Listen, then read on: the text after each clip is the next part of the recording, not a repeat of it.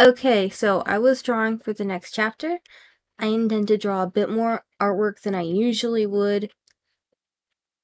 Um, but while I was working on this particular picture, um, my pencil sharpener went missing.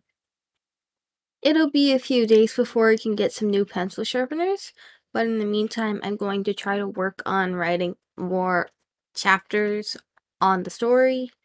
Um, I hope everybody enjoys it, and I cannot wait to share it with everybody. Um, I know we'll be Mandela affected in the future, and that really gets me down.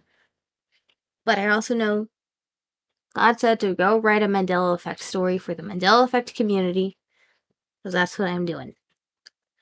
I do think as we get further into the chapters, it will become even more interesting for everybody to come look at. Let's just say I intend to use the Mandela effect in order to employ certain plot twists that I don't think people are necessarily going to see coming.